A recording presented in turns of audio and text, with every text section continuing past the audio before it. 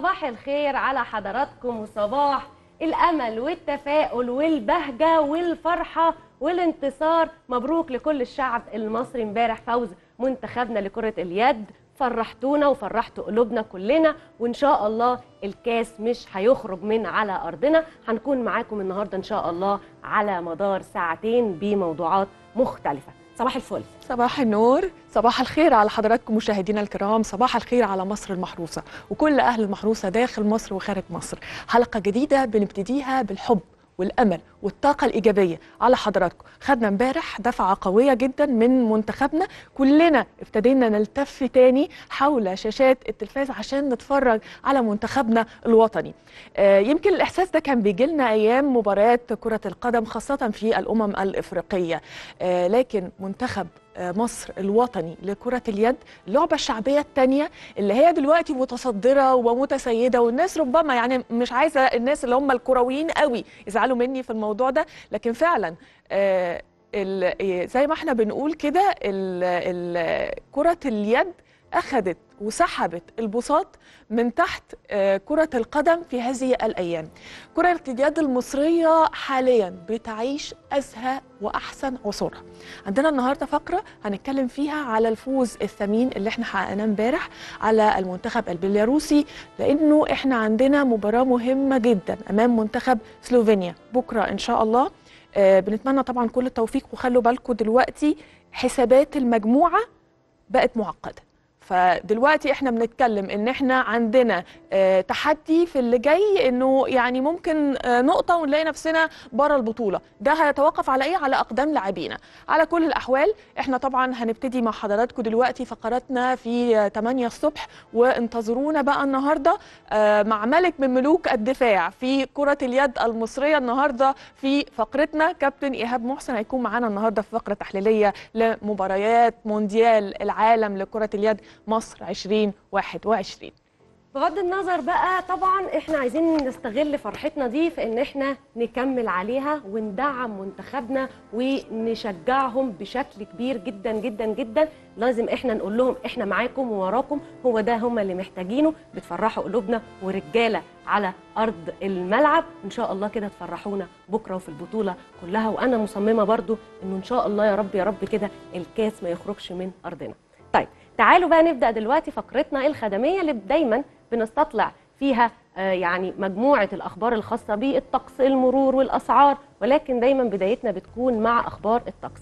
تعالوا نشوف هيئة الأرصاد توقعت إيه. طبعا طبقا لتحليلاتها العلمية إنه بيشهد اليوم السبت طقس معتدل على القاهرة والوجه البحري والرياح المعتدلة والطقس كمان معتدل على السواحل الشمالية الغربية مال للبرودة على السواحل الشمالية الشرقية. والرياح كمان هتكون معتدلة والطقس هيكون مائل للدفء على جنوب سيناء والرياح هتكون معتدلة. كمان بيتوقع هيئة الأرصاد أنه هيسود طقس معتدل على شمال الصعيد والرياح معتدلة وطقس دافئ على جنوب الصعيد والرياح هتكون برضو معتدلة. تعالوا دلوقتي نروح نشوف بيان درجات الحرارة ونرجع تاني لحضراتكم.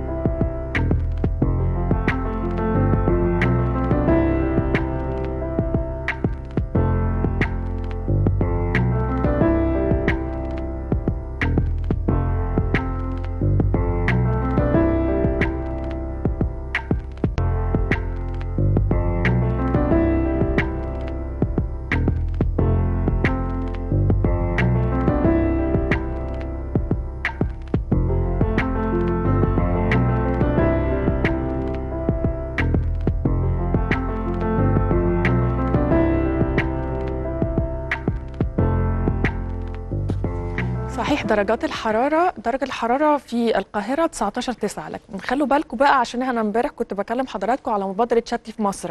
فخلوا بالكم بقى من درجات الحرارة في الغردقة وفي شرم الشيخ وفي الأقصر وأسوان. يعني الأقصر وأسوان وصلت 26 درجة غردقة وشرم الشيخ ما بين 23 و 24 صحيح الدنيا بتبقى بالليل برد شوية لكن الشمس بتبقى ساطعة وجميلة جدا جدا جدا. عشان برضو الناس تبقى مطمنة على الحالة الجوية. لو تحب إن هي تروح وتشارك في مبادرة شتي بمصر طبعا دلوقتي الأسعار آه، هينة جدا ونقدر نستمتع بكل المعالم ال- السياحية اللي عندنا ونقدر نروح المدن ال- الساحلية زي ما إحنا عايزين ونستمتع.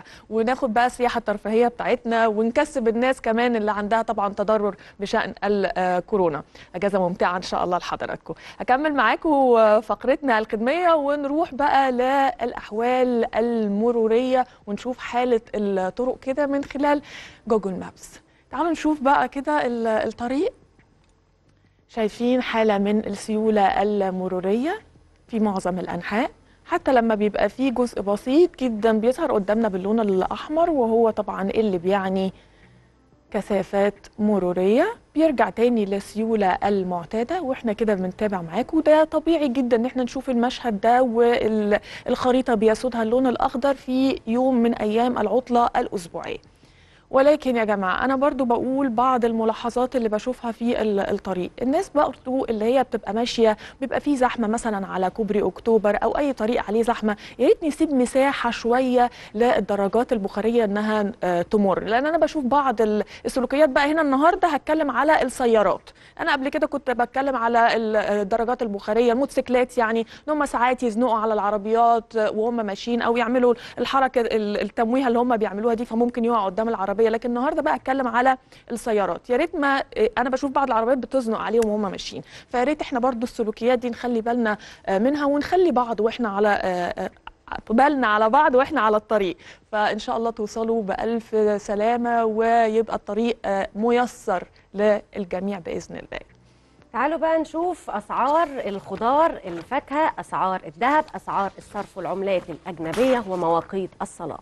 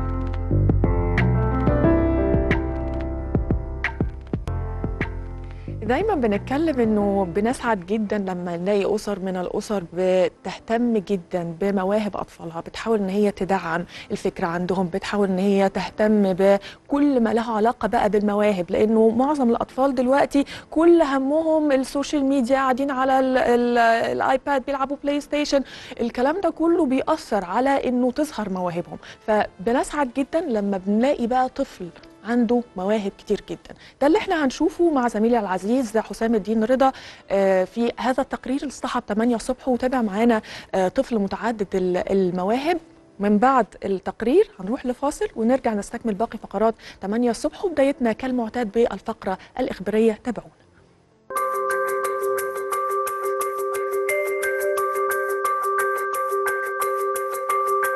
يعني الموضوع بدأ مع جورج من سن سنتين. هو كان بيحب قوي يحفظ عواصم العالم. أنا كنت شفت زمان زي فيديو كده الأطفال صغيرين حافظين عواصم فحاولت إن أنا كذا مرة أقول له يعني دي دي بلد كذا عاصمتها إيه؟ هو طبعا ساعتها ما كانش فاهم يعني إيه عاصمة أصلا بس كنت بحفظه اسم البلد وأقول له إن في بلد تانية جواها صغيرة آه، دي أهم بلد جوه. فبدأت إن أنا أكمل وأقول له عواصم أكتر لغاية ما وصلنا لتقريبا 48 أو 50 آه، بلد كان حافظهم هو جورج بعد يعني ما دخل المدرسة بشوية هو داخل المدرسة صغير آه، اكتشفت إن هو كل ما يرجع من المدرسة يطلع كراسة ويقعد يحاول آه، يكتب يتعلم.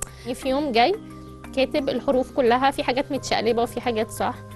فانا قلت له جوجو هو أنت مين اللي وراها لك؟ قال لي لا أنا يعني كنت بشوف ال miss وهي بتكتب مثلا ال ال ال date بتاع النهارده التاريخ فأنا كنت بيلقط الحروف.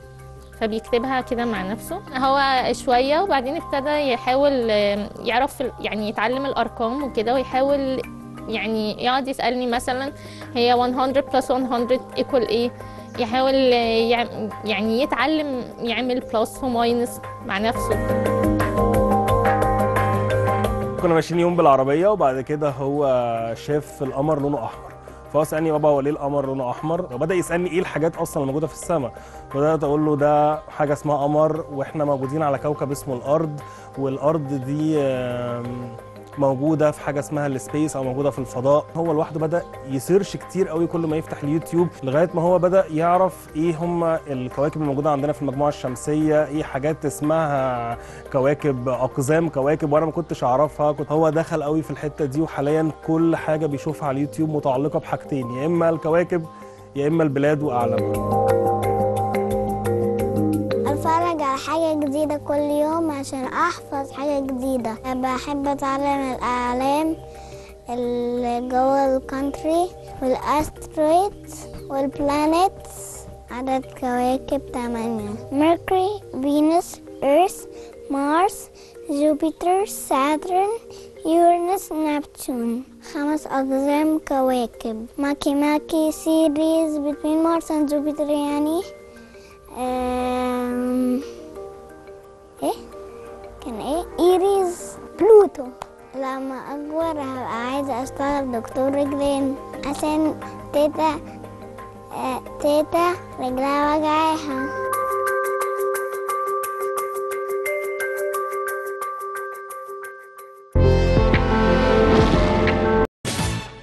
رجعنا لحضراتكم من جديد. تعالوا بقى نبدأ فقرتنا الخبرية المعتادة اللي بنستطلع فيها مجموعة الأخبار الهامة اللي حصلت في آخر 24 ساعة.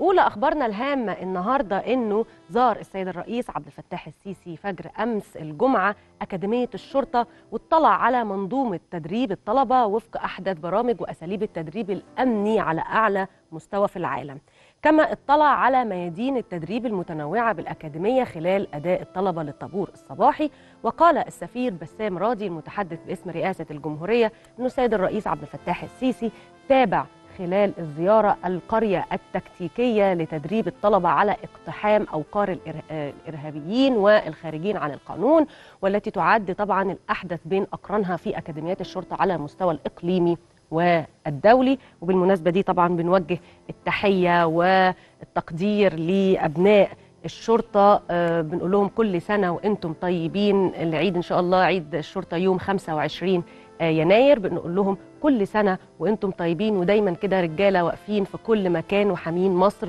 وما بننساش أي مجهود ليكم. وكمان بنوجه التحية لكل شهيد من أبناء الشرطة وده طبعا اللي حضراتكم شايفينه على الشاشة جزء من زيارة السيد الرئيس أمس. طيب تعالوا ننتقل إلى خبر آخر إنه طبعا إحنا عارفين إنه في بعض الإشاعات اللي بتطلع على ال social media وبي يعني بيرصدها المركز الإعلامي التابع لمجلس الوزراء وبيتواصل مع الجهات المعنية وبيطلع بالخبر الحقيقي أو اللي هو يعني بعيدا عن الشائعات. الحقيقة من الأخبار اللي انتشرت شائعات إنه هيتم تقليل أو تقليص قيمة المساعدات النقدية المقدمة للفرد ببرامج الحماية الاجتماعية ل 26 جنيه. الإشاعة دي انتشرت على ال social media وتواصل طبعا المركز الإعلامي التابع لمجلس الوزراء مع وزارة التضامن الاجتماعي ونفت تلك الأنباء تماما وأكدت أنه لا صحة لتقليص قيمة المساعدات النقدية المقدمة للفرد ببرامج الحماية الاجتماعية ل 26 جنيه. وأوضحت كمان أنه قيمة الدعم النقدي بكل برامج الحماية الاجتماعية زي ما هي دون انتقاص وأشارت إلى زيادة كمان مخصصات الدعم النقدي للأسر الأولى بالرعاية تكافل وكرامة الضمان الاجتماعي بالموازنة العامة للدولة بنسبة 2.7% لتصل إلى 19 مليار جنيه عام 2020 و2021 مقارنة ب 18.5 مليار جنيه خلال عام 2019 و2020 تعالوا نتابع البيان اليومي لوزارة الصحة الخاص بكورونا ووضع بقى كورونا في مصر. أعلنت الوزارة أمس عن خروج 432 متعافي من فيروس كورونا من مستشفيات العزل وده بعد تلقيهم يعني الرعاية والعلاج طبقا لإرشادات منظمة الصحة العالمية. طيب أعداد المتعافين دلوقتي في مصر وصلوا لكام؟ 125 ألف شخص و603 امبارح تم تسجيل 748 حالة جديدة من فيروس كورونا وبكده وصل أعداد المصابين إجمالي منذ بداية الأزمة اللي هو كان في شهر مارس 2020 آه 160463 شخص. بالنسبة للوفيات آه 52 حالة وفاة جديدة أمس وارتفع كده أعداد الوفيات ل 8853 طبعا بنوجه التعازي لكل الأسر اللي فقدوا حد من ذويهم. بسبب فيروس كورونا وبنتمنى طبعا الشفاء العاجل للجميع وندعي يا رب كده يعني يحمي أهالينا من هذا الفيروس. طيب بمناسبة بقى كورونا طبعا الأسئلة كل يوم بتزيد عن موضوع الكورونا وفي حاجات بنبقى عايزين نعرف عنها معلومات أكتر ومن المعلومات اللي لقينا إنه الناس بتسأل فيها أكتر فكرة التعافي. هل المتعافي بعد كام يوم ب ب يعني بيفقد أو بنقول عليه مش بيفقد يعني مش بيعدي الناس اللي حواليه. في دراسات بتقول إنه بعد 14 يوم حتى لو الفيروس في جسمه ممكن ما يعديش. وفي ناس تقول لأ نسبة العدوى موجودة وفرص العدوى موجودة. طيب إلى أي مدى إن المتعافي ياخد الأدوية بعد العلاج؟ كده كده إحنا بنقول دايما إنه أنت بتتابع مع طبيب. يعني أي مريض من من من فيروس كورونا بيتابع مع طبيب. بس إحنا برضو عايزين نوعي الناس أكتر من خلال طبعا ضيفي الكريم دلوقتي اللي معانا الدكتور أمجد الحداد استشاري الحساسية والمناعة. صباح الخير على حضرتك يا دكتور. صباح الخير يا أستاذ صباح الخير على السادة المشاهدين. صباح النور على حضرتك يا دكتور. في البداية يا دكتور 14 يوم هم الفترة حضانة الفيروس في الجسم ودي الفترة اللي هي بيقولوا النسبة الوسط لتعافي المريض صح؟ ولا في نسبة أكتر يعني في بعض الأصدقاء بلاقيهم بيوصل الفيروس في جسمهم لغاية 30 يوم و35 يوم رغم إن لا بيشعر بأعراض بقى اختفت من عنده و... ويقال في بعض الدراسات إن هو ما بقاش كده معدي حتى لو الفيروس فضل في جسمه بعد ال 14 يوم. هل دي معلومات صحيحة ولا غير دقيقة؟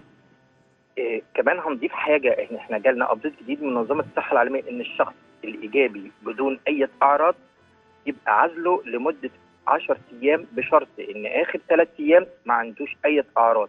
يعني آخر ثلاث أيام من العشر أيام ما فيش سخونية ما فيش أعراض برد ما فيش أعراض كحة. كده فترة عزله بتبقى 10 أيام اللي هو الشخص المصاب ولكن بدون أي أعراض. ده عزله مش 14 يوم كمان ده بيبقى عزله 10 أيام بس وبيفك العزل حتى لو هو لسه مسافته إيجابية بشرط إن آخر ثلاث أيام في ال 10 أيام ما عندوش أي أعراض يعني ظاهرة. المسحة تبقى إيجابية. وينزل عادي حتى لو بعد ال 10 أيام؟ إحنا في حالات إن هو خلاص الشخص عدى عليه ال 10 أيام اللي هو بدون أعراض أو الشخص اللي كان عنده أعراض عدى عليه ال 14 يوم وبرده الآخر ثلاث أيام ما عندوش أعراض نهائيا. يعني إحنا قلنا في نوعين في واحد عنده كورونا من غير أعراض خالص. ده آه. 10 أيام بيفك العزل بتاعه. طب واحد عنده كورونا بأعراض اللي عنده أعراض ده بيستمر. 14 يوم حتى زوال الأعراض بشرط إن آخر ثلاث أيام ما عندوش أعراض بيفك العزل دون اللجوء لعمل مسحة تأكيدية. هو خلاص كده متعافي. حتى لأن إحنا عندنا ناس بتظل المسحه إيجابية لمدة شهر ويبقى ده بقايا فيروس آر إن فيروس وتظل إيجابية وهو متعافي وخلاص ما عندوش أي بيعدي يا. دكتور ده؟ ده بيعدي؟ الشخص اللي هو عدى عليه أسبوعين وما عندوش أي أعراض ده شخص غير معدي بيمارس حياته طبيعية. حتى لو المسحة اتأخرت في تحولها من إيجابي لسلبي بعض الدراسات قالت تأخر المسحة ده بيبقى فيه ما يسمى بقايا الفيروس في الحلق. دي لسه بتدي مؤشرات إيجابية عليه أهم حاجة عندي هو مرور ال 14 يوم للشخص اللي كان عنده أعراض بسيطة آخر ثلاث أيام ما عندوش أي أعراض ده بيفك العزل بيبقى إنسان طبيعي. لكن إحنا بقى بتقابلنا بعض المشاكل بعد ال 14 يوم في 30% من الحالات اللي هم ما يسمى متلازمة ما بعد التعافي. بيبقى الشخص غير معدي ولكنه عنده بعض الأعراض اللي هي بنسميها ما بعد التعافي. بيجي له آلام في العصب آلام في الصدر بعض الكحة صعوبة في التنفس بسيطة وده اللي بننصحه إن هو يستشير طبيبه هيفضل يستمر على أدوية إيه من البروتوكول بعد التعافي لفترة قد إيه. ولكن هذا. الشخص برضه مش معدي عايز أسأل حضرتك سؤال عشان برضو آه، نوضح أكتر للسادة المشاهدين. في جميع الأحوال سواء عليه آه، أعراض أو لم تظهر عليه آه، أعراض بعد ال 14 يوم هو الفيروس مش معدي. صح كده؟ بشرط بشرط. إن آخر ثلاث أيام مفيش أعراض. عزله مفيش أي أعراض هو شخص متعافي تماما طب إيه- دكتور ما هو الفيروس الناس هتسأل ما هو الفيروس لسه موجود في الجسم والتحاليل بتقول والمسحة بتقول إيجابي فمعنى إنه موجود في الجسم ما ده معناه إنه ممكن ينشط تاني ويهاجم صاحبه ويبقى. معدي إحنا الشخص اللي هو تعافى وما عندوش أعراض وعدى عليه 15 يوم حتى لو إحنا بعد ما نعمل له المسحه بنلاقيها إيجابية ده بعض التقارير بتقول إن إيجابيتها لا تعني نشاط هذا الفيروس لأن هو بيبقى لسه في بقايا في حلقه ده ميت فيروس ميت غير نشط ولا يسبب أي عدوى ده بشرط زي ما إحنا قلنا اللي هو مرور ال 14 يوم وما عندوش أي أعراض ظاهرة. ده بيفك حتى لو مسحته لسه ما تحولتش من إيجابي لسلبي لا يكون معديا ده كل الدراسات يا دكتور أجمعت على ذلك ولا بعض الدراسات قالت ذلك؟ كل الدراسات إن إحنا قلنا النوعين قلنا الشخص اللي من غير أعراض خالص 10 أيام وما بيلجأش إن إحنا نقول له عيد المسحة والشخص اللي عنده أعراض بسيطة 14 يوم بشرط إن هو آخر ثلاث أيام ما فيش أعراض ده بيفك عزله وبيبقى شخص غير معدي تماما طيب بالنسبة للأدوية بقى يا دكتور لو هو تعافى ومفيش أعراض بس الفيروس لسه هنقول إيجابي ده اللي هنتكلم عنه إنه السلبي خلاص هو تعافى والنتيجة ظهرت سلبي لا اللي لسه آه، في إيجابي ياخد الأدوية ومعهوش أعراض ولا ما ياخدهاش؟ هو أصلا الشخص الإيجابي اللي هو أصلا في بداية البروتوكول هو ما عندوش أعراض هو ما بياخدش إلا مجموعة الفيتامين وبيتابع أعراضه مع الدكتور. مش شرط كمان بعد ما يمر ال 10 أيام 15 يوم. يعني شخص مثلا هو مصادفه مسافر فرضا وجي يعمل مسحه قبل السفر لقى نفسه أو زي لعيبة الكورة لقى نفسه إيجابي. مم. وهو أصلا بدون أعراض. ده إحنا بنعزله في فترة حضانة الفيروس فقط لا غير. عدى فترة الحضانة وهو ما ظهرش على- عليه أعراض وهو بيفك عزله ولا داعي إن هو ياخد أي بروتوكولات سواء إن الطبيب وصف له بعض الفيتامينات أو المتابعة فقط لا غير. غير ذلك من لا داعي لأخذ أي شيء من البروتوكولات طالما هو ما عندوش أي أعراض للفيروس. أخيرا برضو الشخص ده يفضل يلتزم بالإجراءات الاحترازية ارتداء الكمامة والتباعد الاجتماعي زيه زي أي حد. عشان الكلام ده ممكن يقول لهم خلاص أنا ما بقتش معدي. فلا برضو نوجه يا دكتور معلش النصيحة إنه في جميع الأحوال هترتدي الكمامة ويتلتزم بالإجراءات الاحترازية اللي خف من كورونا حتى لو مسحته سلبية أو اللي ما خفش ولسه المسحة إيجابية أو اللي خف وعدى ال 15 يوم كلنا ملتزمين بالكمامة لأن إحنا ما عنديش دراسات لحد دلوقتي الشخص ده بيكون أجسام مضادة بتحميه فترة قد إيه فهو مم. حتى المتعافين هم ملتزمون بالكورونا حتى لو ملتزمون بالكمامات حتى بعد التعافي حتى بعد المسحه لأن ما بنديش ما عندناش تقارير هو هيديله حماية قد إيه هيديله مناعة قد إيه. إحنا ناس أصيبت في الموجة الأولى وفي الموجة الثانية ناس أصيبت في فترات متقاربة جدا. صحيح. لحد دلوقتي الحل هو الكمامة سواء لشخص متعافى أو شخص تحول إلى سلبي أو شخص مصاب. صحيح. للعدوى هي الكمامة. الكمامة لا تزال هي الأساس لكل المتعافون وكل المصابون.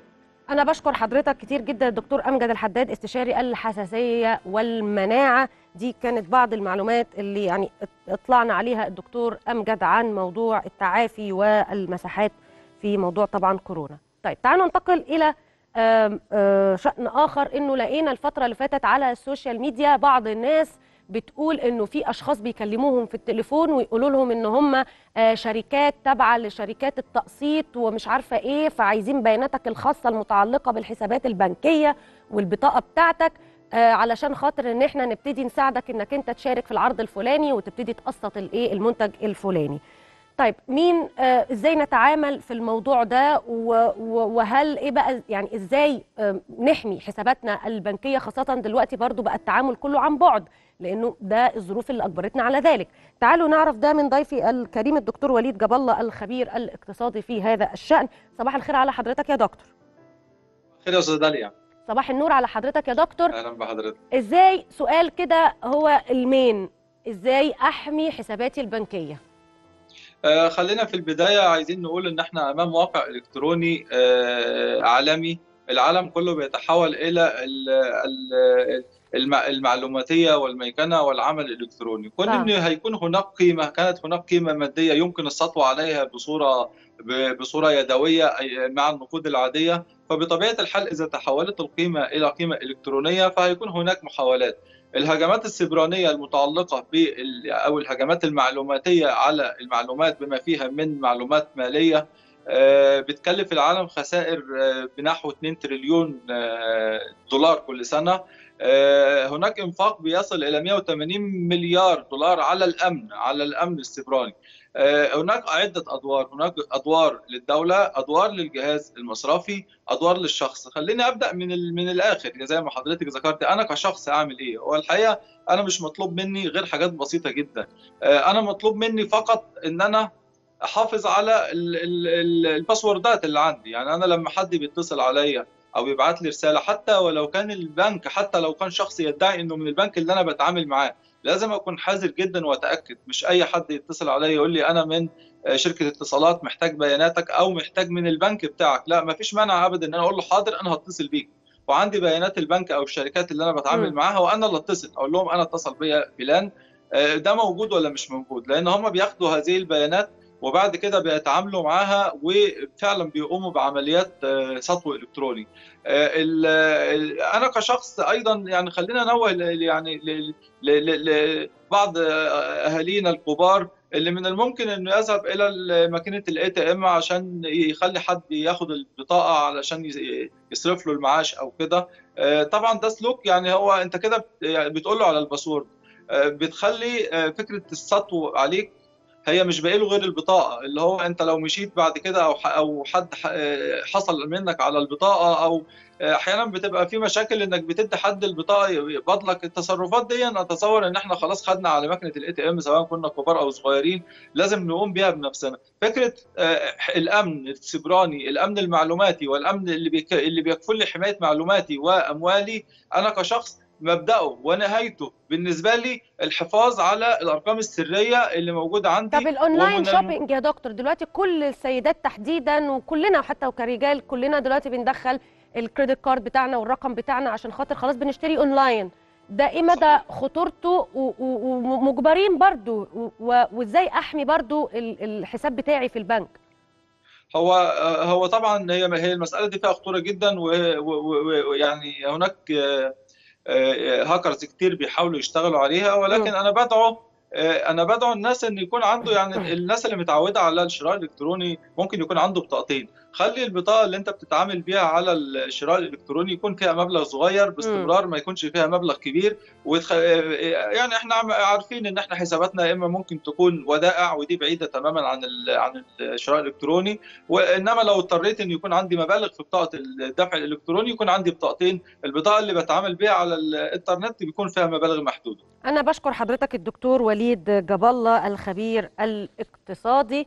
طبعا بننصح إنه لازم ناخد بالنا من هذه الأشياء لأنه أسهل حاجة دلوقتي بندخل رقم الكارت وعلى طول نشتري online online وفجأة ممكن تلاقي واقف قدام كارثة. فخلي بالكم دي نصيحة حلوة قوي إن أنت يبقى عندك كارتين واحد لمبلغ صغير والتاني للمبلغ الكبير عشان لو لا قدر الله حصل أي حاجة تبقى أنت برضو الخسائر مش كبيرة. تعالوا تعالوا نروح لفيها حاجة حلوة. النهاردة فيها حاجة حلوة عن قصة نجاح. وإرادة وعزيمة خلت الطفل أحمد اللي مصاب أو كان مصاب بمتلازمة آه، التوحد إلى الدكتور أحمد اللي بيعلم أبناء الصعيد. الدكتور أحمد مهران كان طفل آه، مصاب بتلعثم في الكلام مشكلات صحية في العظام. آه، طبعا دي كانت بتعيقه على الحركة بشكل طبيعي. ولكن دلوقتي هو بقى من أشهر مصممي برامج التعليم في الصعيد.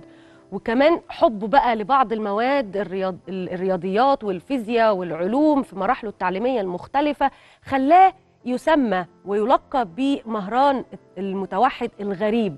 دخل كلية الصيدلة جامعة سوهاج وخلال الدراسة دي قدر إن هو يحل آه، مشكلات كتيرة جدا ويساعد ناس كتيرة جدا وصمم أربع أنظمة للتعليم آه، آه، مبتكرة وحديثة في الصعيد ومحافظات مصر المختلفة وعام 2017 وحتى الآن هو صمم هذه الطرق الجديدة وطبقها على آه، ناس كتيرة جدا ودرب حوالي 6000 شخص طبعا بعدد ساعات تدريبية وصلت ل 1600 ساعة تدريبية في محافظات مصر المختلفة.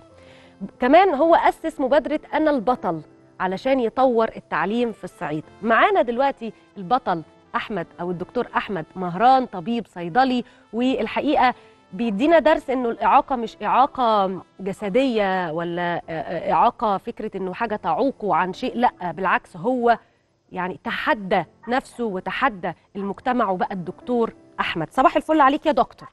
صباح الفل. إيه الأخبار حضرتك؟ تمام الحمد لله بخير يعزك بخير يا رب إن شاء الله. احكي لي كده بقى مسيرة نجاحك دي اللي هي مسيرة ملهمة الحقيقة لكثير من الناس علشان يتعلموا منها قد إيه الواحد إن هو ما يقفش قدام أي آه، عراقيل تقف قدامه.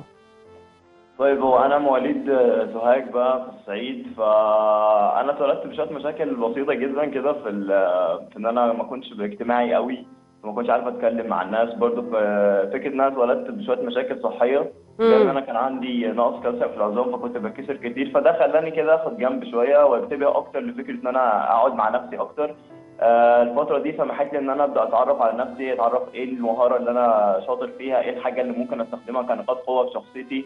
آه، بدأت أكتشف إن أنا شاطر جدا في الدراسة آه، وإن أنا بفهم بسرعة وبحفظ بشكل بمعدل كان غريب حتى بالنسبة للمدرسين اللي كانوا بيسمعوني أو بيشوفوا الحاجة دي مني بعملها إزاي في وقت قليل. ف يعني رب ضارة نافعة زي ما بنقول حاجة ما كانتش كويسة بالنسبة لي وبالنسبة لناس كتير آه، تحولت إلى مصدر قوة ساعدتني فعلا إن أنا أكون شاطر في مجال التعليم آه، وأقدر بعد كده إن أنا أتخصص فيه بشكل كبير جدا وأقدر إن أنا أعمل فيه أفكار الحمد لله رب العالمين لحد دلوقتي بتساعد طلبة كتير جدا في إن هم يكون ليهم اختيارات متعددة في إن هم يتعلموا بشكل جديد ومختلف عن نظام التعليم الحالي اللي الناس اتعودت عليه بقى من من زمان جدا من سنين. الطلبة ف- بتوعك آه، آه، طلبة يعني عاديين ولا برضو طلبة من ذوي القدرات الخاصة؟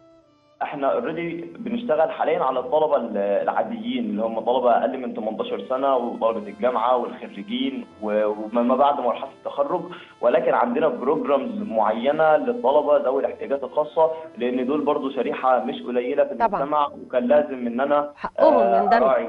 الحته دي كويس. وكان لازم إن أنا أحطهم في الاعتبار لأن هم ليهم حق علينا كلنا. آه، لازم آه، نشتغل عليهم ونحاول نطور منهم. فهم لأ محطوطين في الأجندة بتاعتنا عشان خاطر إن شاء الله بإذن الله نقدر كمان نساعدهم زي ما بنساعد باقي الطلبة عادي خالص. أنا بشكرك جدا جدا يا دكتور أحمد مهران. شاب جميل جدا جدا جدا.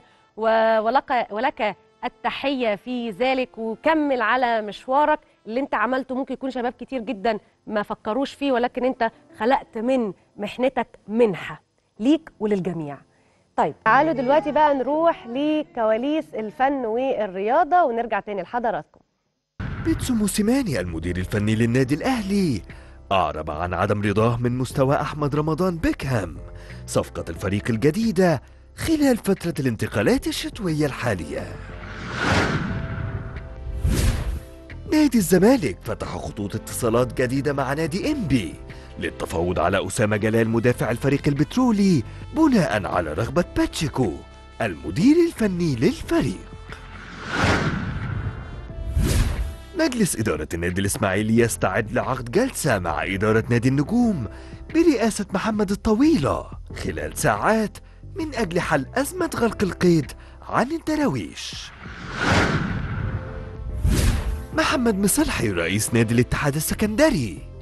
اشترط تحسن نتائج الفريق الكروي الأول في الدوري الممتاز للإفراج عن مستحقات اللاعبين خلال الفترة المقبلة.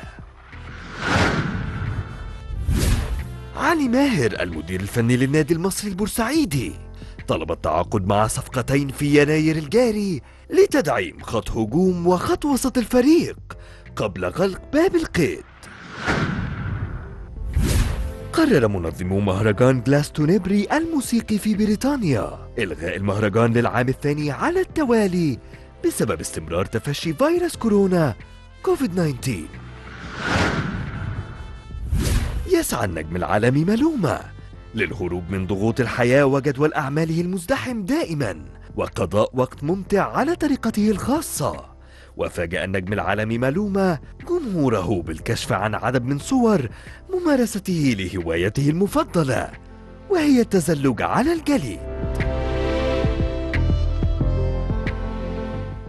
جه بقى موعدنا الأسبوعي مع فقرة أهالينا في الخارج اللي دايما بنتواصل بيها مع أبناء المصريين من الجاليات اللي عايشين بره إن إحنا نلقي الضوء على إنجازاتهم. لأن من حقهم إن إحنا دايما نتواصل آه، معاهم والمصريين يعرفوا إن إحنا عندنا أبناء بره بيعملوا إنجازات وبيرفعوا علم بلدهم آه، بره وهم كمان يتواصلوا مع الوطن الأم بشكل مباشر.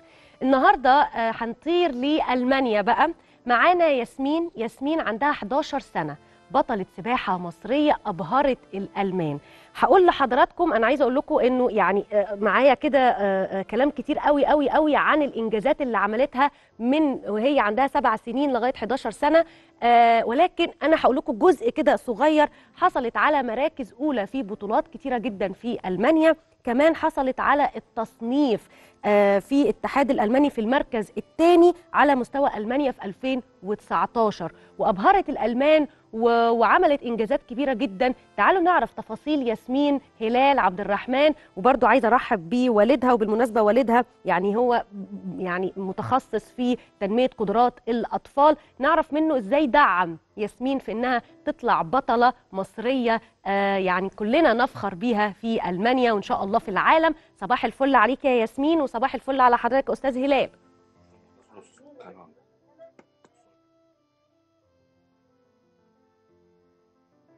طيب آه آه أستاذ هلال هستأذن بس حضرتك توطي التلفزيون علشان حضرتك تسمعني ما يبقاش في ديلي عايزة أقول لكم كمان إنها حصلت على لغايه ما الأستاذ هلال يرجع على المركز الثاني آه لمنطقة شمال ألمانيا للسباحة القصيرة لأحواض ال 50 متر المفتوحة والمركز الأول في البطولة الدولية لدول شمال أوروبا. يعني يعني عاملة الحقيقة إنجاز كبير جدا جدا. ياسمين وهي صغننة كده 11 سنة وهي مواليد آه، 2010 الحقيقة ببقى فرحانة قوي بالفقرة دي لأنه بيبقى فيها معنى فكرة إن إحنا نتواصل مع أبنائنا. إنه دايما الطفل اللي هو من الجيل الثاني والثالث يبقى عارف إنه بلده الأم متواصلة معاه وفرحانة بيه ويرجع لها تاني ودايما يفيد بلده الأم بأي إنجاز هو بيعمله. وإن إحنا يبقى عندنا طفلة صغيرة وده اللي أنا حريصة دايما أعمله كل أسبوع إن أنا أدور على الأطفال في يعني أنحاء العالم كله اللي بيعملوا إنجازات. إنه أعرف الطفل ده إنه إمتى؟ عملت حاجة حلوة قوي لبلدك أنت مش لوحدك. طيب أستاذ هلال معانا؟ طيب أستاذ هلال صباح الفل. أخبار صباح حضرتك صباح إيه؟ الفل يا فندم. هو بداية قبل ما نبدأ بن بنهني ممكن حضرتك بس توطي التلفزيون عشان تسمعني. أيوة كده يا فندم. اتفضل. بداية إحنا بن بنوجه التحية للشرطة المصرية في عيدهم وسعداء جدا بوجود جهاز زي دوت بيحمي بيحمينا لما بننزل من مصر وبن- وبنشعر بالأمان.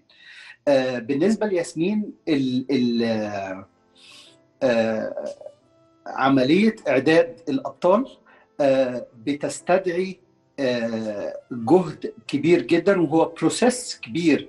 ابتدت ابتدت ياسمين ابتدت ياسمين فيه من آه، خمس سنين. جهد كبير جدا اتبذل. آه، آه، آه، آه، plan كانت محطوطة للتدريبات آه، plan كانت محطوطة لل- آه، للمدرسة التوفيق بين المواعيد المختلفة. آه، آه، آه، هي بتشاور ليه جهد. ياسمين؟ بس هقطع حضرتك هستأذنك ياسمين صباح الفل. هي عمالة تشاور. نعم. ياسمين صباح الخير. صباح الخير. عاملة إيه؟ الحمد لله. قولي لي يا ياسمين آه انت إيه احساسك لما بتخشي بطولة وتطلعي مركز أول أو تاني وإنك انت بيقولوا إن انت مصرية؟ إيه احساسك بقى لما بترفعي علم بلدك كده؟ سعيدة. سعيدة. انت ما بتتكلميش عربي يا ياسمين؟ مم. سعيدة. بتقول لحضرتك سعيدة بتكون سعيدة جدا.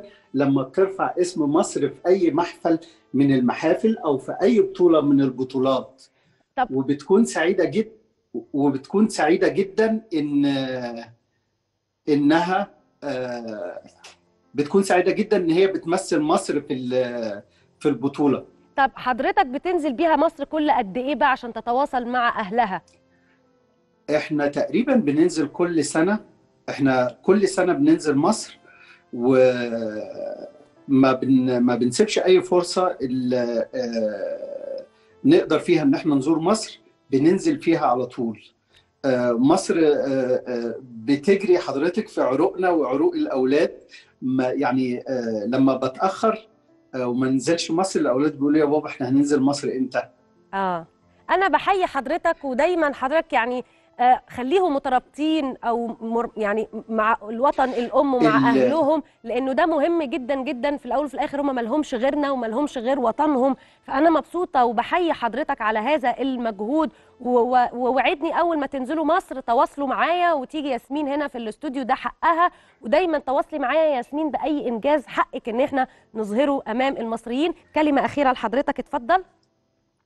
طبعا يا فندم إحنا آه ياسمين آه آه، في الفترة في الفترة اللي هي مارست فيها ال- السباحة ودخول البطولات آه انتقلت آه انتقلت فيها انتقال يعني ملحوظ من خلال بال- بالمركز الأخير سنة 2017 وبعدين آه، سنة 2018 حصلت على المركز الثاني على مستوى الم- المقاطعة والمركز الثاني على مستوى منطقة الشمال.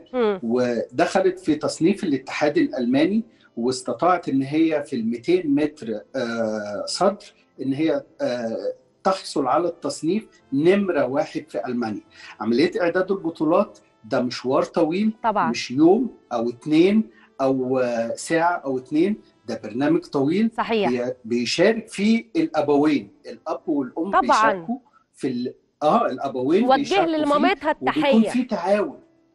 بيكون في تعاون بين الاثنين في آه في إعداد صحيح. آه وتنمية مهارات ال- الأطفال. وأنا بحيي آه، حضرتك ع- يا أستاذ هلال وبحيي مامتها وب- وبشكر ياسمين. طبعا بشكر حضرتك جدا جدا أستاذ هلال عبد الرحمن آه والد ياسمين البطلة اللي إحنا فرحانين بيها جدا وفخورين بيها. وبنشكر ياسمين وكملي يا ياسمين إحنا معاكي ومدعمك ووراكي. زي ما إحنا كده دايما بنشجع كل ابطالنا آه ما بنشجع محمد صلاح وبنشجع منتخب كرة اليد لما بيشرفونا أمام العالم كله برضو هنشجعكم كأطفال صغيرين لأن أنتوا اللي جاي وأنتوا اللي هتفرحونا. فبشكرك جدا جدا أستاذ هلال عبد الرحمن آه، والد ياسمين هلال. آه، نرجع بقى تاني نروح بقى دلوقتي لفاصل وبعد الفاصل انتظروا بقى فقرات 8 الصبح وإن شاء الله انتظروا فقرة النهارده عن موضوع آه، يعني مبادرة معمولة بلا غرق إنه إزاي إن إحنا نعوم في الشواطئ بدون أخطار ومخاطر. وبعد كده برضو هيكون أولى فقراتنا عن طبعا بقى تحليل لمباراة كرة اليد امبارح اللي طبعا فرحونا بيها أبطال كرة اليد. إن شاء الله انتظرونا بعد الفاصل.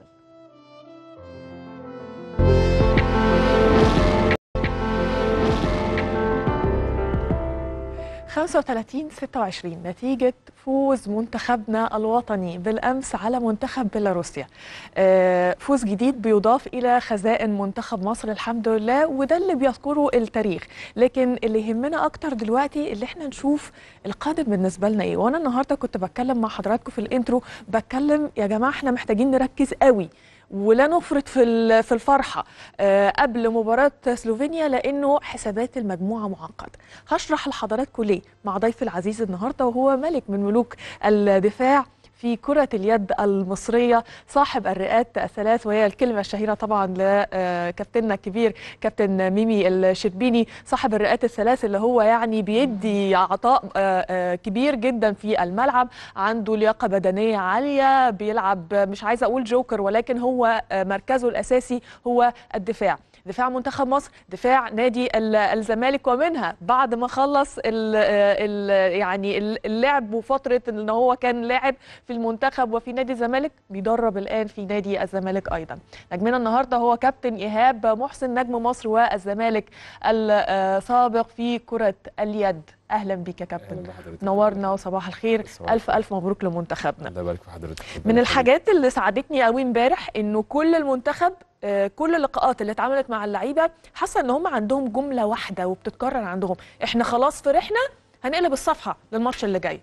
مظبوط. ما بيفرطوش في ال- ال- الفرح عارفين إن في هدف وهم عازمين عليه. واضح ده قوي من الأداء من اللياقة من التركيز في ال- الملعب. واضح من المدير الفني وده اللي إحنا بنشوفه وبنجني ثماره بقى في النتيجة النهائية الحمد لله. الحمد تعقيبك إيه على مباراة امبارح والأداء اللي إحنا ظهرنا بيه؟ آه والله المنتخب آه ماشي بخطى ثابتة جدا آه من بداية المجموعة. نعم. حتى ماتش شيلي بس هو كان واضح إن اللعيبة ما كانتش مركزة في الماتش لضعف الماتش. حتى باين كان باين على المدير الفني. بداية مبارياتنا. بداية مباراه خاص مع ماتش مباراه شيلي بس هم البداية برضو يا كابتن. آه آه، هو سياده الرئيس كان موجود في الماتش الافتتاحي ده أكيد برضو كان عامل لهم رهبة شوية ولكن آه ماتش شيلي ما كانش مقياس خالص. بعد كده بدأنا ماتش مقدونيا آه أداء هايل طبعا و score عالي جدا. بعد كده ماتش السويد ماتش لو اتعاد 100 مرة كنا المفروض نكسب. لبعض الأخطاء البسيطة جدا آه يعني مش عايز أتكلم على التحكيم بس كان في أخطاء واضحة شوية للتحكيم. مم. بعد كده بدأنا ال round الثاني والأهم.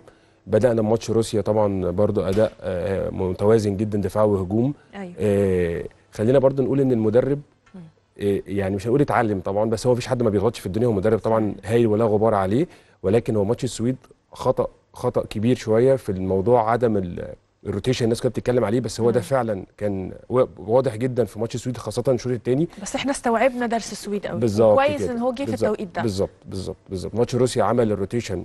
آه. ما ما قدرش ما منتخب روسيا يجارينا في في المباراة من أولها لآخرها نفس آه. الكلام مباراة امبارح. عمل rotation مظبوط. آه، ما حدش قدر يجارينا في المباراة خالص. فنتمنى إن المنتخب يكمل على كده. ماتش سلوفينيا طبعا عنق زجاجة. ممكن يوصلك أول مجموعة ولو وصلت أول مجموعة بنسبة كبيرة إن شاء الله تقدر تتخطى كرواتيا وتوصل semi final نتمنى. يعني لو إحنا. طلعنا طبعا أول مجموعة آه. آه هنلاعب كرواتيا لأنه الم- المرجح دلوقتي إنه الدنمارك هتبقى أول مجموعة.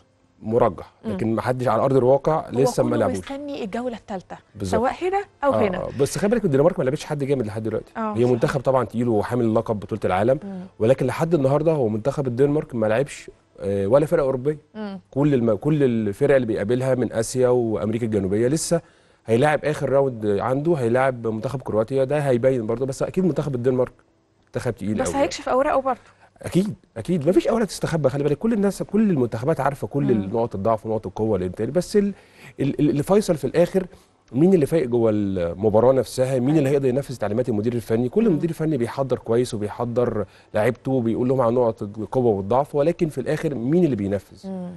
اللعيبة اللي بتنفذ وبيتنفذ بنسبة كام في المية من كلام المدير الفني هو ده اللي بيرجح كفه المنتخب اللي يقدر يكسب؟ شفت ماتش السويد وسلوفينيا امبارح؟ شفته. 28 all الاثنين تعادل. آه. يعني آه، هل الأول أنت كنت متوقع النتيجة دي؟ ده أنا كنت أتم... بص مش متوقع النتيجة إن الماتش الفرقتين equal في حاجات كتير قوي. الماتش كان كان جوه الملعب مع يعني مفيش كفه كفه فرقة من الاثنين أرجح.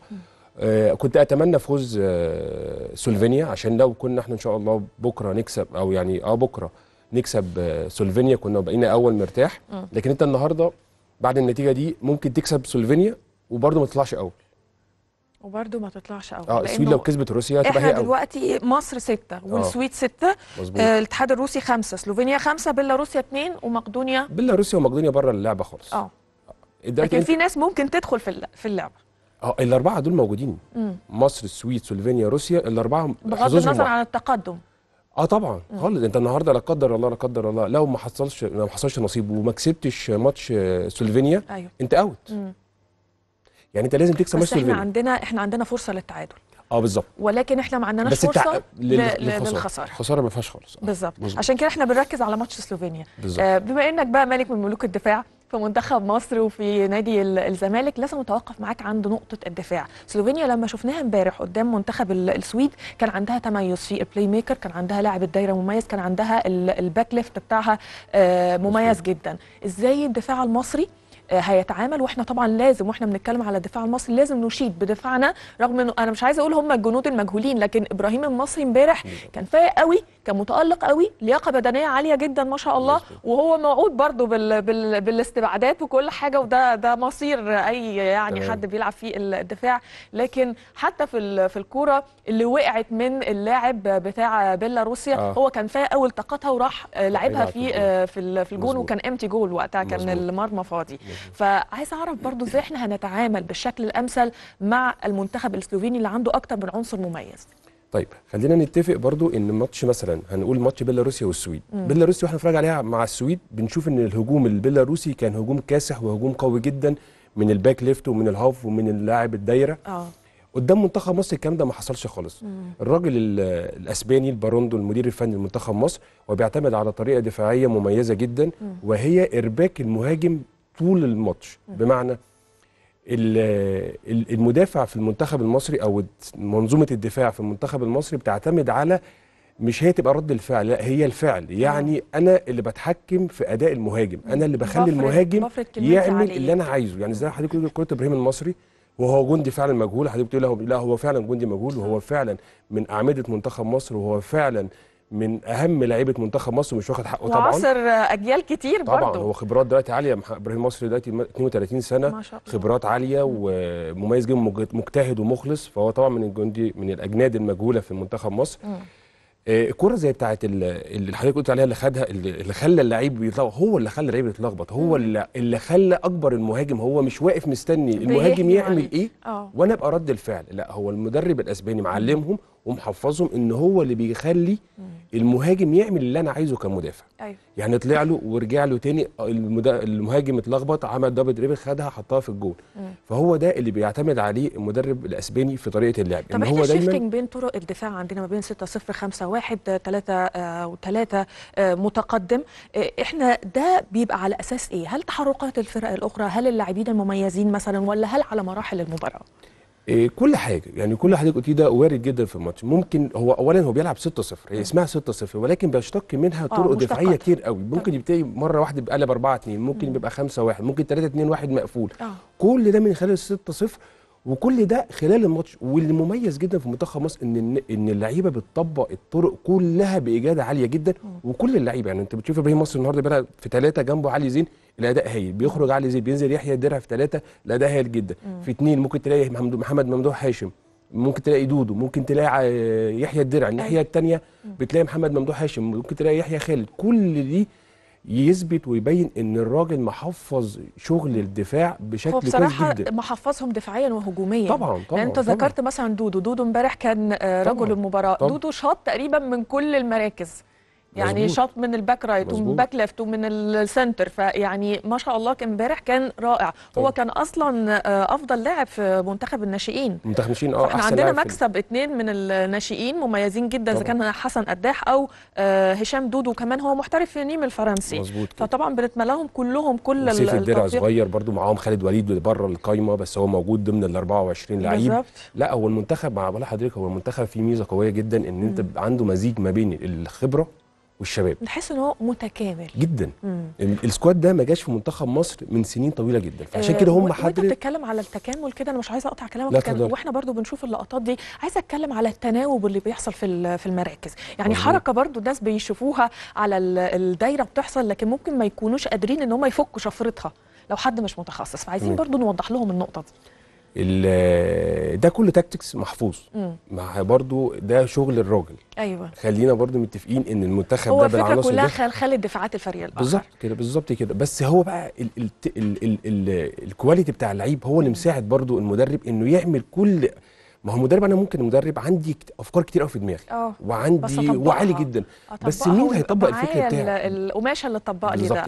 امبارح كمان وحضرتك بتقول كده فالداعم أكتر لكلامنا هو الأرقام. يعني 13 طبعاً. واحد turnovers اللي هي الأخطاء بالظبط. اللي هم ارتكبوها. يعني شوف منتخب مصر قادهم لإيه. بالظبط كده. إحنا بقى عملنا كام turnovers. واحد بس. حضرتك مذاكرة كويس قوي أيوة. لا إيه، إيه، ده ده رقم المنتخب ده يستحق إنه يتذاكر بالظبط. كده بالظبط ده رقم لازم الناس تقف عنده. مم. يعني بتلعب 60 دقيقة بتعمل خطأ واحد بس مم. اللي هو من double dribble لأربع خطوات ل miss pass واحد بس في 60 دقيقة.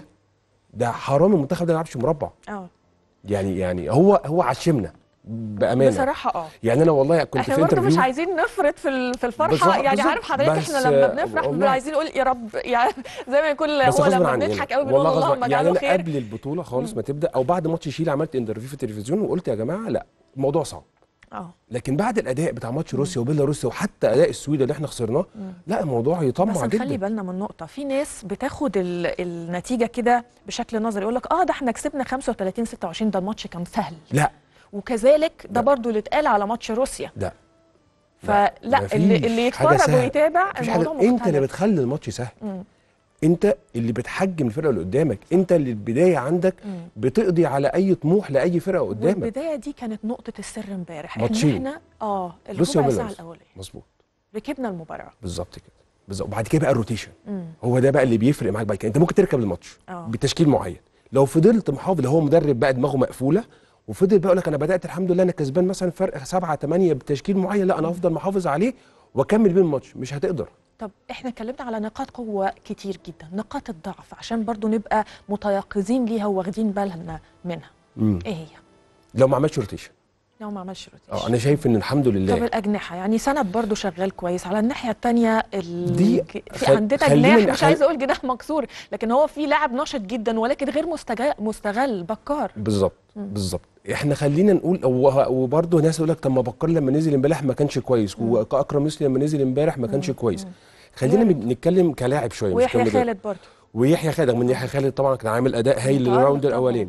خلينا متفقين إن اللاعب لما بينزل وال score عالي أكيد من جواه الدنيا ما بتبقاش تركيزه ما بيبقاش 100% زي اللاعب بداية المباراة وال- والدنيا لسه ايكوال ده اللي حصل كمان مع إسلام حسن؟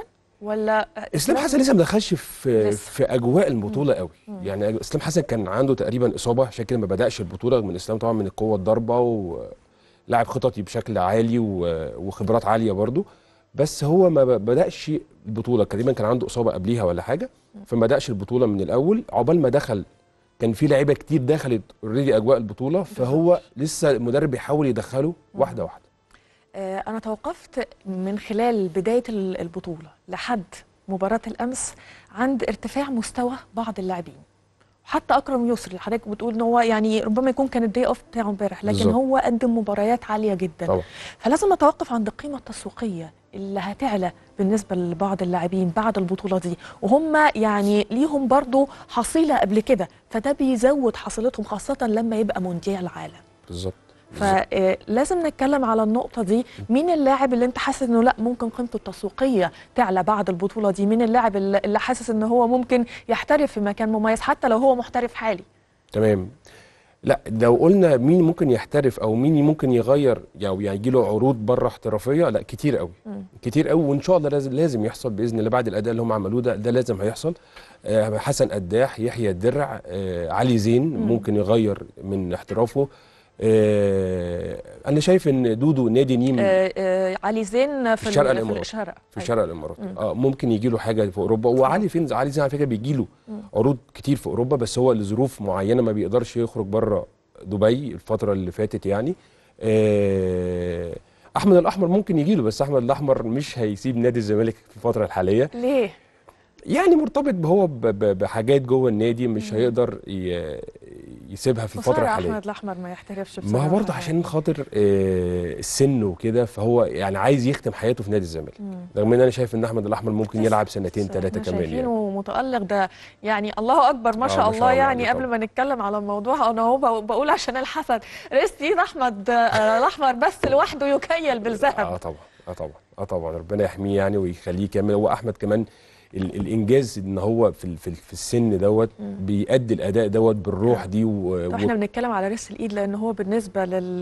لل striker آه. هو اللي بيتحكم بالظبط فممكن يخدع حتى ال هو بيخدع الناس. كلها بيخدعنا إحنا حتى وإحنا بنتفرج فهو آه. لأ طبعا امبارح آه، رمياته الجزائية طبعا هو متخصص فيها يعني آه، كان آه، كان آه. رائع بالظبط بالظبط بالظبط يحيى خالد أنا شايف إن هو بيلعب طبعا في نادي من أقوى الأندية في أوروبا كلها فهو هيكمل حبة وإن هو ماشي كمان بمستوى هايل مع فيسبرم المجري أيوة. فيحيى خالد فهيكمل ممكن كريم هنداوي الطيار ممكن يحترف محمد ممدوح ممكن يغير يجي له حاجة أحسن من دينامو بوخارست في رومانيا.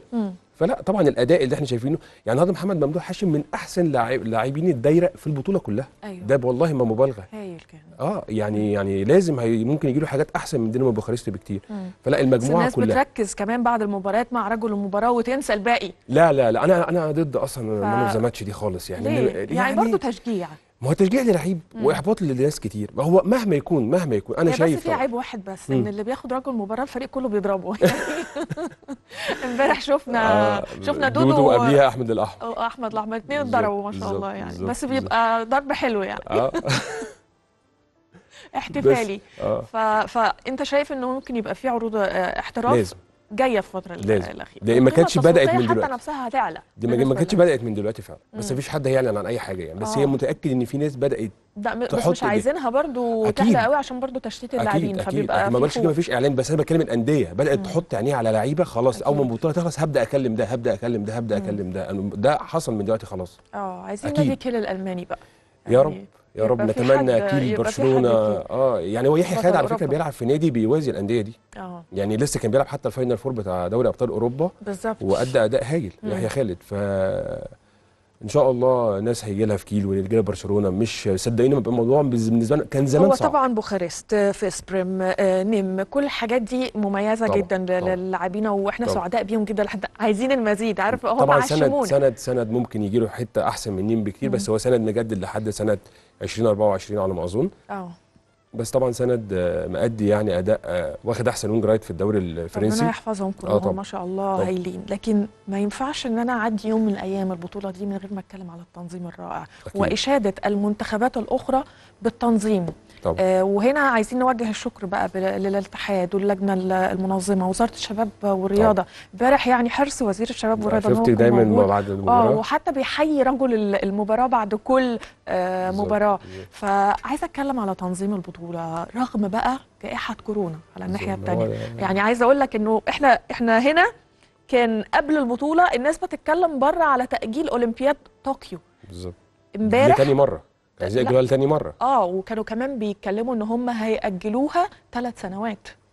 فامبارح آه، رئيس اللجنة الأولمبية الدولية طلع نفى الكلام ده وقال إن هي قائمة في ميعادها وعينهم بقى على آه، مصر وتنظيم البطولة وبيفكروا في البابل اللي هي بالظبط، موجودة عندنا دي بالظبط، دلوقتي. فكويس جدا إن إحنا نوصل الرسالة دي للعالم إن إحنا قادرين. بالظبط بالظبط. تعليقك إيه على موضوع تنظيم لا طبعا البطوله تنظيم آه، أكثر من رائع حتى حفل الافتتاح آه، اهتمام من كل مسؤولين الدولة الاتحاد المصري وزارة الشباب حتى سيادة الرئيس برضو مهتم بنفسه كان متابع كل خطوة بخطوة من قبل البطولة ما تبدأ بالتجهيزات الصالات بالإقامة بال- بالتنقلات بكل حاجة. آه، اشاده من كل لاعبي العالم ومن كل المنتخبات بال- بال- بالتنظيم وبالاجراءات الاحترازية. طبعا آه، مجهود غير طبيعي خاصة هو مجهود مش طبيعي وزيادة بقى مش طبيعي أكتر بسبب جائحة كورونا. فطبعا إشادة آه، لكل الناس القائمين على البطولة وتعب ومجهود وربنا يكلل مجهودهم وتعبهم بأن منتخب مصر يروح لأبعد مكان إن شاء الله في يا البطولة. رب أبعد مكان يعني بعيدا عن الأمنيات بتتوقعوا إيه لمنتخب مصر؟ إن شاء الله مربع ذهب المربع الذهبي. إن شاء الله. قادرين ننافس على اللقب؟ آه والله. مم. طيب مين الحصان الأسود اللي أنت شايفه حاليا؟ هل أنت بتتفق المجري. المج... المجر. آه. مش البرتغال. لا البرتغال خلي بالك وا- واضحة إن هي كويسة من مم. بطولة أوروبا اللي فاتت. أيوه. لا المجر. ليه بتقول المجر؟ عشان المجر أنا فوجئت بمنتخب عشان ال- المجر. ال- الماتش اللي عمله مع ألمانيا؟ مش ع... ما هو إحنا لو جمهور عاديين هنقول ه- هسمع النتيجة وخلاص لكن لما تتفرج على الأداء آه. لا منتخب هايل. صح. عنده كل مقومات الفوز. مم. منتخب المجري من حراسة مرمى دفاع قوي جدا. هجوم قوي playmaker ذكي جدا عنده. لاعب دايرة من أحسن. لعيبة الدايرة ال- في العالم آه، باكات left باكات right كله. عنده تشكيل كامل آه طبعا صح ومدرب كويس الفريق كله جدا نجوم جدا لكن على الناحية الثانية أنا كنت جماعي. بسألك على منتخب الماكينات الألمانية يعني لو إحنا وقفنا قدام الماتش ما بين إسبانيا آه. وألمانيا آه. إزاي الماتادور الإسباني قدر يعطل الماكينات الألمانية بهذا الشكل مظبوط آه، خلينا نتفق إن المنتخب الألماني ينقصه لعيبة كتير قوي مهمين قوي مم. مش موجو- ما جوش بسبب جائحة كورونا بسبب تمام. إصابات بسبب حاجات كتير بسبب ظروف شخصية. في لعيبة كتير من المنتخب الالماني اعتذرت عن البطولة. مم. فالمنتخب ينقصه لعيبة كتير قوي مهمين.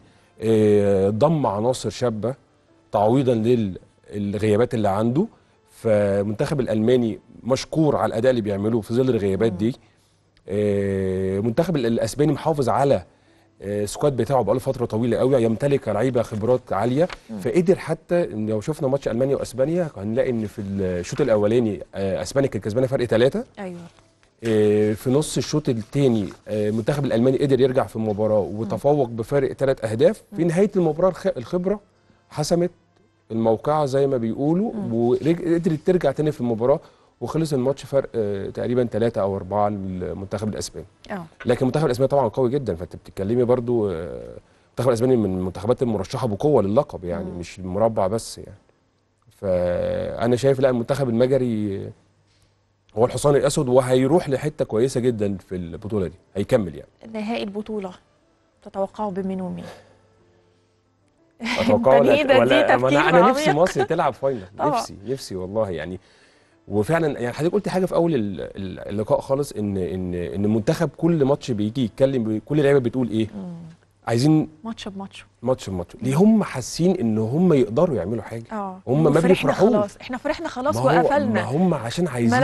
عايزين هم حاسين بنفسهم. هم شايفين إن الفرق بينهم وبين الفرق الأوروبية القوية. آه. مفيش فرق. بالعكس أنا بتفوق بتفوق بفرق كبير. هديك بيلاروسيا النهارده متعادلة مع السويد وماتش كان وماتش كان equal طول الماتش وماتش. نار النهارده. انت مخلص ماتش بيلاروسيا على؟ فكره الماتش على فكرة الناس اللي اتفرجت على المباراة تعبت من كتر الجري وسرعة الأداء بين الفريقين. مظبوط كده. جيت بقى ماتش بيلاروسيا أنت عملت إيه في بيلاروسيا؟ في فرق تبص تلاقي مش ودي ه- حاجة حلوة على فكرة إن طبعاً. المنتخب قافل ودانه عن الناس اللي بيقعدوا يخوفوه. لا ده منتخب بيلاروسيا قوي مش هنعرف نصد قدامه والكلام ده كله. فالحمد لله إن إحنا على قد ال- المنافسة. بالظبط. وأنا مش عارفة بس أنا جالي إحساس كده بعد ماتش الاتحاد الروسي إن ده منتخب بطولة. طبعا. منتخب مصر. طبعا. طبعا ما هو ف- حقك. تشوفي كده. طمنا. أيوه حقنا كلنا لازم نطمع في كده. لازم هو يعني لو ما عملتش كده دلوقتي هيبقى الموضوع صعب بعد كده. فإن طيب. شاء الله تقدر. نمر سريعا على مباريات النهارده. النهارده قطر والبحرين الساعة 4:30 أوروجواي وإسبانيا 4:30 الأرجنتين الساعة 7 مع كرواتيا. بولندا نعم. الماتش ده مهم. ماتش مهم ولازم آه. نشوف كرواتيا. بالظبط آه بولندا والمجر. الساعة برضه مهم 7 تونس هتلعب مع الكونغو الديمقراطية الساعة 7 ألمانيا والبرازيل 9 ونص. اليابان والدنمارك 9 ونص. أبرز المباريات اللي أنت هتبقى حريص إن أنت تتابعها. آه ماتش كرواتيا عشان آه، يعني كرواتيا أنا شفت. كرواتيا بس عايز أشوفها تاني وتالت عشان إن شاء الله تبقى هو. آه هو إن شاء الله يبقى ال- اللي هنقابله في دور والدنمارك باذن الله واليابان؟ الدنمارك واليابان ماتش محسوم. من قبل ما يتلعب. آه، ماتش المهم برضو بولندا والمجر. المجر لازم تكسب بولندا عشان تكمل. آه، ممكن تطلع أول المجموعة دي. آه صح. إن هيبقى عندها ماتش بينها في الآخر. لو كسبت بولندا هيبقى عندها ماتش بينها وبين إسبانيا. أول وتاني المجموعة. وهما الاثنين هيصعدوا دور الثمانيه أخيرا مطمن قبل مباراة سلوفينيا. بكرة. مطمن إن شاء الله. مطمن لو كملنا بنفس الأداء. يبقى مفيش أي صعوبة. كل التوفيق لمنتخبنا إن شاء الله. كابتن إيهاب محسن نجم مصر وزمالك السابق لكرة اليد. بشكرك. شكرا جزيلا على وجودك معنا. كل التوفيق للمنتخب. شكرا جزيلا. كل الشكر لحضراتكم مشاهدينا الكرام. كل التوفيق لمنتخبنا الوطني. وبنقول مبروك للفوز وللتنظيم ولكل من ساهم وكان سند قوي ودافع قوي لمنتخبنا ولتنظيمنا وحتى المنتخبات اللي كانت موجودة. كل التوفيق لمنتخبنا إن شاء الله والمزيد والمزيد في القادم. بس التركيز. تابع معاكم مشاهدينا الكرام باقي فقرات 8 الصبح انتظرونا بعد الفصل وعن نفسي أشوفكم بإذن الله الأسبوع القادم وحلقة جديدة من 8 الصبح. صباحكم جميل إن شاء الله.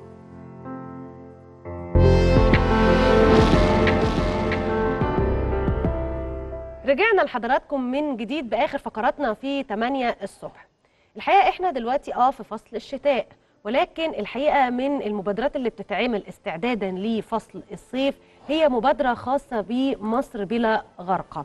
دي مبادرة أطلقتها الحكومة المصرية علشان يتم توعية المجتمع المصري بكل فئاته ويستغلوا وقت الشتاء إنه طبعا أكيد ما فيش مصايف دلوقتي ولا في أي نوع من أنواع الأنشطة الخاصة بالسباحة بالنسبة للمواطنين العاديين يعني. فبالتالي بيتم توعية المواطن في شهور الشتاء علشان خاطر يبتدي بقى يبقى هو عنده المعلومة الكافية في الصيف. ونبتدي إن إحنا طبعا يعني نحمي شبابنا وأطفالنا ومجتمعنا من الغرق خاصة إنه للأسف كان ال- العام الماضي كان فيه كم حادثة غرق كده. آه ولكن النهارده بقى بنشوف إن الحكومة المصرية بتطلق هذه المبادرة لتوعية المواطنين. هنعرف تفاصيل أكثر عن هذه المبادرة من الدكتور هشام ربيع عضو اللجنة العليا لمبادرة مصر بلا غرق. صباح الخير على صباح حضرتك. الخير. ازي حضرتك؟ سعيد إن أنا يمكن المرة الثانية والثالثه مع سيادتك. شرف ليا يا فندم. وإن شاء الله هنقدم لحضرتك أو أعرف حضراتكم. أو أنا هتكلم على موضوع المبادرة. كانت فكرة وأصبحت في حيز التنفيذ بقت مبادرة رئاسية آه، الحكومة نفسها الحكومة المصرية بدأت تاخد حيز الاهتمام بشكل غير عادي آه. غير ما كان متوقع أي حد. إيه آليات بقى هذه المبادرة؟ يعني حملات التوعية هتنزلوا فين؟ هتتكلموا عن إيه؟ خاصة إحنا عندنا كونسبت كده للشباب وللأطفال انه أنا السباح الرهيب بقى الفظيع فهخش في وسط ال دي مشكله ما- آه. دي المشكلة. هي الفكرة البداية أصلا كانت مجرد فكرة بسيطة بعد الحوادث بتاعة الصيف رغم إن الشواطئ كانت مقفولة ما فتحتش الشواطئ العامة وكانت حالات الغرق كانت كتير جدا. فكان حادث ال ال- ال 12 أو 14 حالة مع بعض في شاطئ النخيل فكان موجود فيها رئيس الاتحاد فقال فكرة وعرضها على الدكتور أشرف صبحي مجرد إن هي فكرة. الدكتور أشرف صبحي اللي هو وزير الشباب والرياضة تبنى الموضوع بشكل إن هي تبقى مبادرة. مم. مش مبادرة بس مجرد إن الاتحاد برئاسة الكابتن سامح شاذلي إنه يعملها وينفذها لأ ده عملها مبادرة بقت مبادرة رئاسيه اتعرض الموضوع على سيادة الرئيس وكان المفروض إن هي كانت عبارة عن آلية إن هي هتتنفذ في خلال خمس سنوات. إن إحنا نعمل محاضرات توعية أو نعمل ندوات تثقيفية لفئات المجتمع كافة. بتعمل في الجامعات وفي في المحليات. الأول إحنا قسمناها لكذا لكذا حاجة.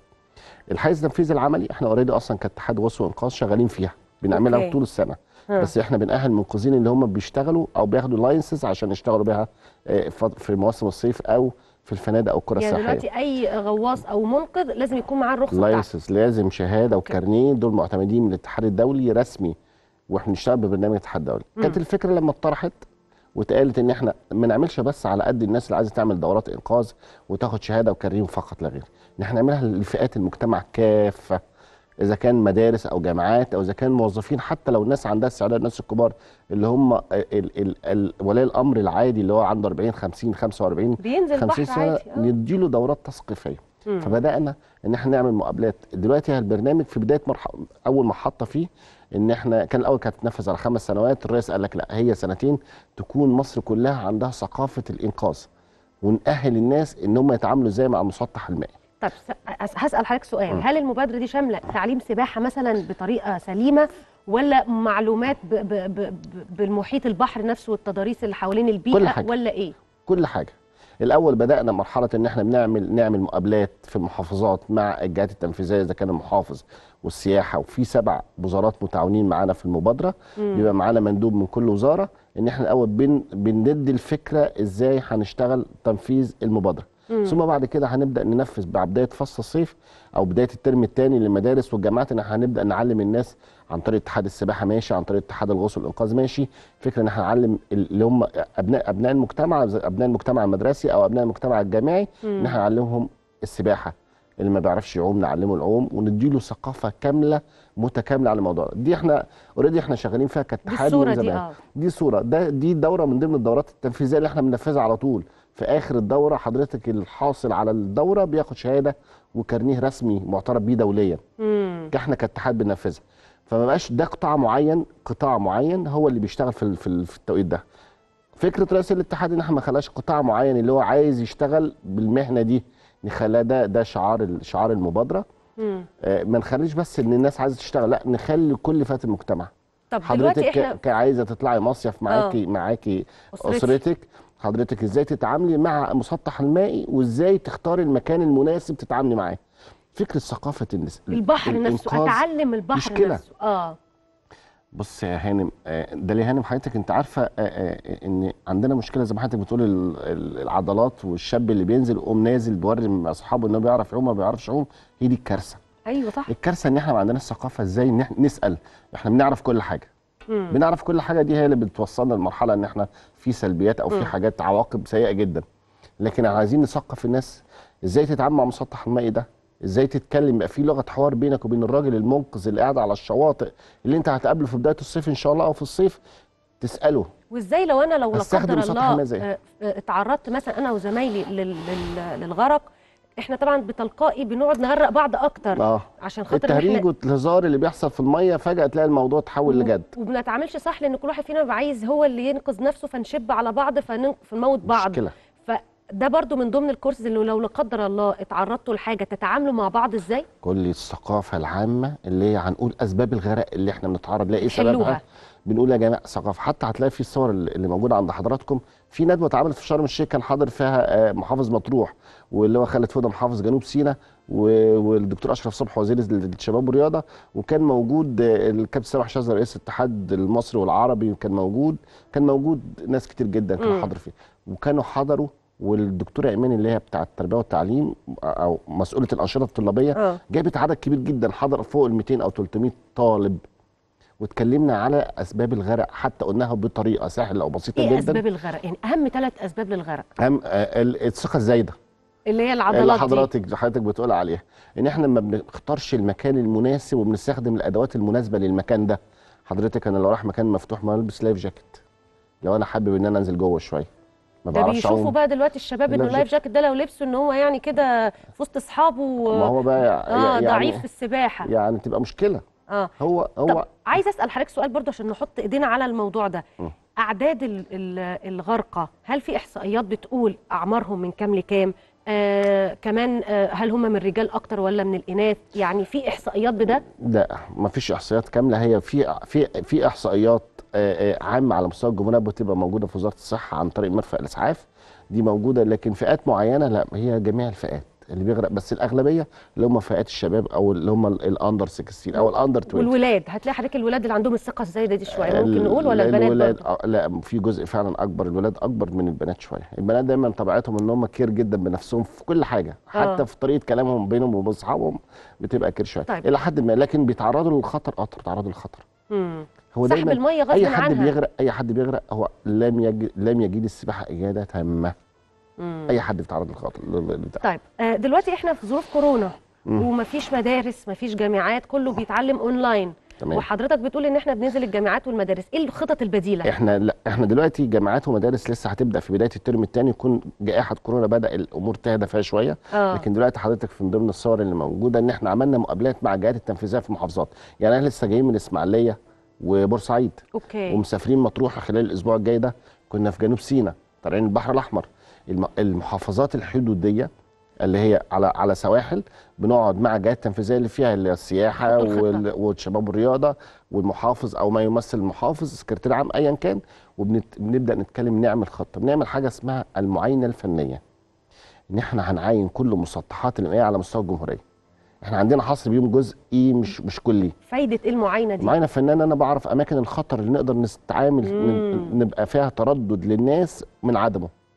إذا كانت سواحل أو حمامات سباحه وهنوفر من ضمن حاجات كتابية هنعمل معاينة ونعمل رخصة license إن الدولة متبنية الموضوع ده نتعمل license للمسطح المائي ده. إذا كان آمن من عدمه. آمن هيبقى آمن إزاي؟ آمن إن هو في كل عوامل الأمن والسلامة متوفر. إذا كان منقذ إذا كان أدوات إذا كان المكان كويس إذا كان في حواجز مية، مفيهوش في موجة سحبة، عالية. كل الكلام ده كله. هيتعمل ويتعمل على ورق ويتسلم للمحافظ أو هيتسلم للجهة المعنية بالموضوع. وهي تبدأ تنفذ على هذا على هذا الكلام اللي هو المعاينة الفنيه من خلال خبراء الاتحاد الفنيين للموضوع ده. الفريق بقى ال- اللي هو بيقوم بقى بالتوعية مين هم يعني؟ إيه دراستهم وإيه طبيعتهم؟ يعني حضرتك رئيس الاتحاد المصري لغوص الإنقاذ على رأس ال- ال- اللجنة كفنيا. إحنا موجودين إحنا سبع سبع وزارات معانا. معانا آه، وزارة الشباب والرياضة معانا وزارة الدفاع وزارة الدفاع موجودة دي الجهات المعنية. اللي مشاركة. دي الجهات المعنية. لكن كلجنه, كلجنة فنية إحنا في آه. أربع أو خمس أشخاص من الاتحاد المعني بال بال بالموضوع ده نفسه. رئيس الاتحاد اللي هو الكابتن سامح شاذلي ومعانا اللي هو محمد أمين ده عضو مجلس إدارة. معانا منسق عام الدورة الدكتور حازم الروبي. أنا آه، هشام ربيع. آه، معانا الدكتور شادي برضو من ضمن اللجنة الفنية. دي اسمها اللجنة الفنية اللي بتقوم في أجهزة معاونة لينا. إحنا كناحيه فنيه في اجهزه معاونة لينا لتذليل العقبات كلها. والشباب بقى اللي بينزل يدرب بنفسه بقى. مدربين تبعنا لجنة عندنا لجنة كاملة عندنا فوق ال 130 أو 150 مدرب معتمدين دوليا. license دولي ده ده instructor دولي. okay. موجودين تبعنا إحنا موجودين إحنا بنأهلهم كل سنة بنعمل تأهيل. إحنا النهارده لسه مخلصين دورة المدربين هم دول اللي هينفذوا الدورات على أرض الواقع كتنفيذي.